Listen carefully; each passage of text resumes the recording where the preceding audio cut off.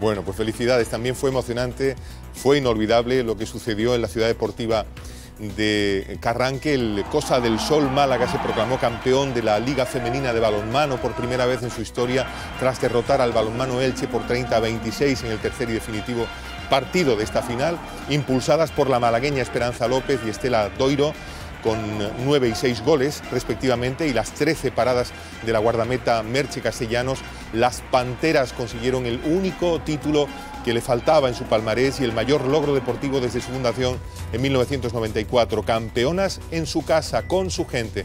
Mejor, bueno, muy difícil imaginarlo.